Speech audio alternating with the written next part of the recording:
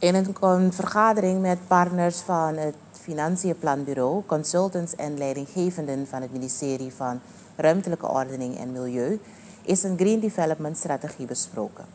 De focus lag op het stellen van specifieke doelen, zoals behoud van een percentage van het bosareaal om klimaatfinanciering uit het bos te halen.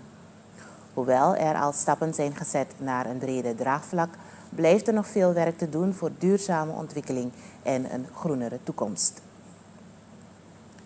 Minister Parmanant Seodien van LVV heeft vrijdag de eerste zakken NPK kunstmest overhandigd aan rijstboeren met een areaal van 30 hectare.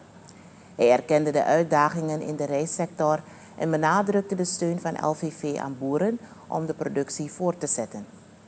Ondanks huidige problemen zoals watertekorten moedigde de minister boeren aan door te blijven gaan en hoop te behouden.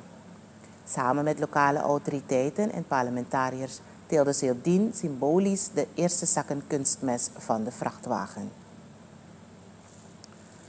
Het onderdirectoraat Arbeidsmarkt van het ministerie van Arbeid, Werkgelegenheid en Jeugdzaken is op 24 januari 2024 de training Sociale Vaardigheden en Beroepshouding gestart om de werkethiek en capaciteiten van het personeel te versterken.